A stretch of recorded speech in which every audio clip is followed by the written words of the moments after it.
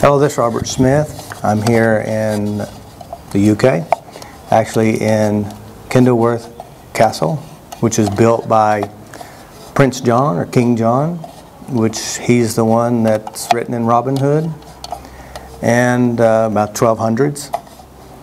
And uh, so, what I'd like to talk today about is relationships. How do you deal with toxic emotional relationships? You know, I get a lot of emails about it. How do you deal with this? My family's crazy, my relationship's crazy, my job's crazy. I don't know what to deal with, how to deal with it. Um, and you can do what I've done, and several other my friends have done, or people I've worked with, is that they divorced their, their relationships. That means they wrote a letter to mom and said, "Hey, mom, I need a break. I need to work on myself, and I'll let you update you." So what she, what they did is they divorced themselves. They updated mom and they started working on themselves. They started cleaning out the dragons from within. They cleaned them up and they cleared them out. And what dragons really are, are just really memories and experiences in which they held within themselves. Because truly, these experiences are put inside you as you experience them. And then we use these experiences to help build relationships. So if you have toxic experiences with your parents or loved ones, um, you have a tendency when you're around them, you get sucked back in. That means you get sucked back in the emotional dynamics. You still feel and act like them, and you feel like they're controlling you. So with the emotional divorce, you just separate yourself. You update them. You don't say you're going to abandon them and leave them. And then what you do is you start working on your dragons. You start tapping on yourself. You write a list of all the memories and experiences that you held against you what you use against you to make you feel bad. You think about them, what they did. And if you don't, if you don't start cleaning it up and you just divorce your parents, and a lot of people just got up and move and never seen their parents or hardly ever see them ever.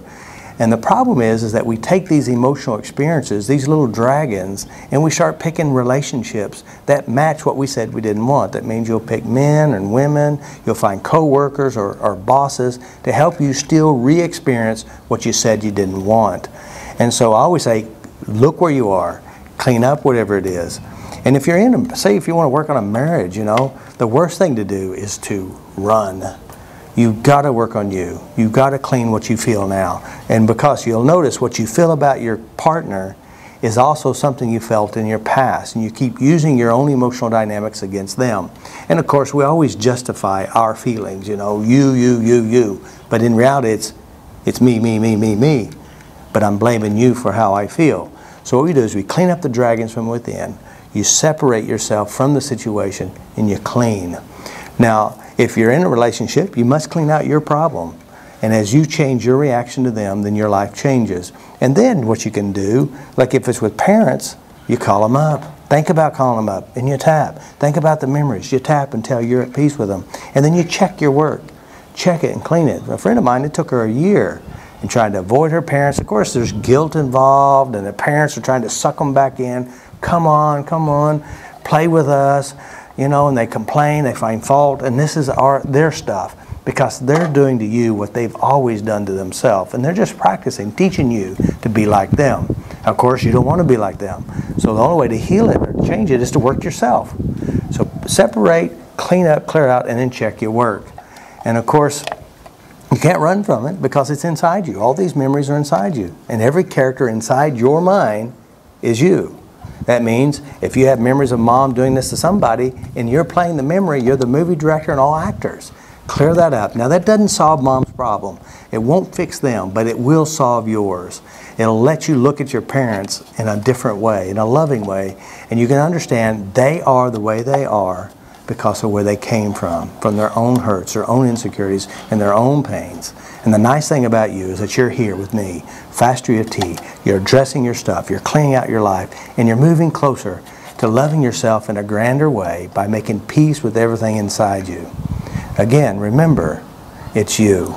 And the best way to test your work, and I always say, guys, if you want to test your true spirituality, go to family reunions. Go to the schools that you had, had experienced experiences at. Remember the people, experience those people who had affected you. Are you at peace within yourself? So this is what I say.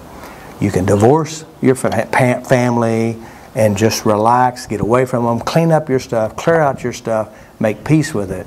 And when you make peace with it, then you'll know because when you, you're with them, though I walk through the valley of the in-laws and the family, I have peace because you created peace within yourself. So clean up the dragons from within because they really are you. Your parents could be dead and gone and you could still be tormented by your inner dragons. And of course, dragons are just imaginary. And of course, dragon tastes like chicken when you're done. this is Robert Smith. I'm here in, in the, the UK in a castle. You be your own Robin Hood. Save yourself. And if you can save yourself, as you do, you'll impact those around you. And we'll talk to you later. Ciao.